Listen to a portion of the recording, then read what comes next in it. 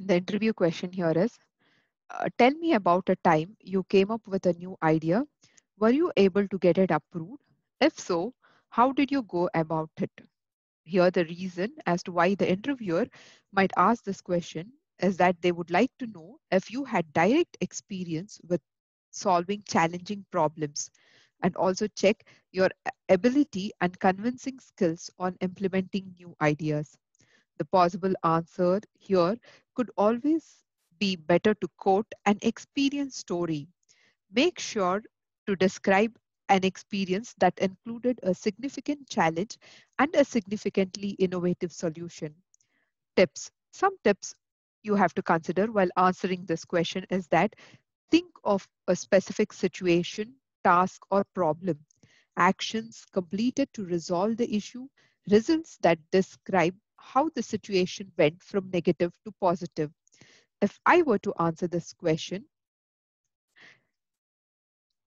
at my previous job, my company had to increase production output because of higher customer demand. I was in charge of a work group that needed to identify how to immediately increase production without having to hire additional employees. Because of the need, I called a meeting together with the work group and we brainstormed solutions. Many in the group thought that the only solution would be to hire additional employees to meet the demand. But I knew that the company did not want to hire employees that we have to subsequently let go. After a lengthy discussion, I shared my idea to create additional after hours shifts that would allow workers to get overtime.